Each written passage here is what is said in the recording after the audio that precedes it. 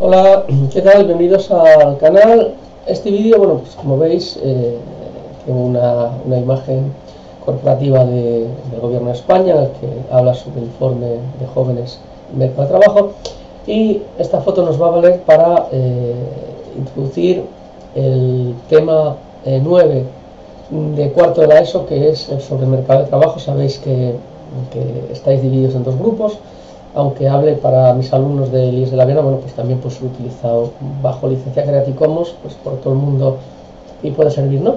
Este vídeo, bueno, pues va a ser un poquitín una pequeña introducción para saber lo que es el mercado de trabajo y para deciros dónde aparece el conjunto de vídeos que se refieren a este tema.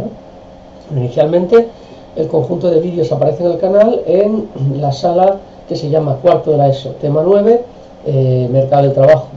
Y el mercado de trabajo, bueno, pues es un mercado como cualquier bien y servicio de los que tenemos estudiados anteriormente, tiene una curva de oferta y una curva de demanda. La curva de, eh, oferta del trabajo eh, tiene una serie de características determinadas, eh, porque hay que tener en cuenta que quienes ofrecemos el trabajo son buenas personas y quienes demandan la mano de obra son las empresas. ¿no? La demanda es exactamente igual que cualquier demanda y la oferta a partir de un nivel de salarios determinados se vuelve hacia atrás lo que indica que la gente desea tener más ocio eh, en vez eh, de, horas de trabajo porque su sueldo es mayor. ¿no? Esto lo veremos todo, como os digo, en, el tema del mercado de trabajo.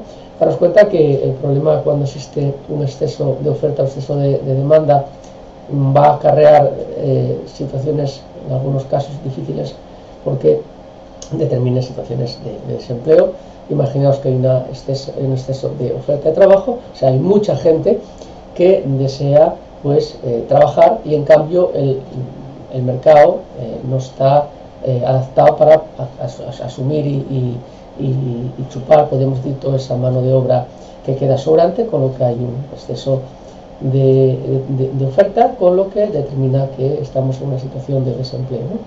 Esta y otro tipo de cuestiones como saber lo que es una, eh, pues, eh, la tasa de paro, la tasa de actividad, eh, lo que es la tasa de ocupación, son elementos que estudiaremos a lo largo de, este tema. Mm, cualquier duda que tengáis, sabéis que la podéis poner siempre debajo de los vídeos. Mientras sigamos en esta, esta reclusión en nuestras casas, tenemos que seguir teletrabajando de esta manera. Intentaré subiendo todos los días o, o, orientándoos todos los días, todos los días eh, sobre qué vídeo vamos a trabajar o incluso bueno pues realizaremos un vídeo nuevo en el que yo vaya pues adaptando cosas nuevas o, formas más didácticas de introducir lo que hace unos años ya habíamos trabajado en otros vídeos ¿no?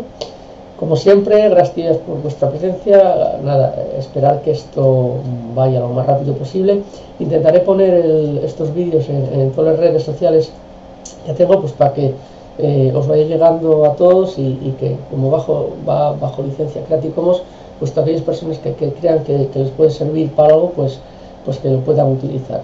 Gracias por vuestra presencia, un abrazo y hasta otra ocasión.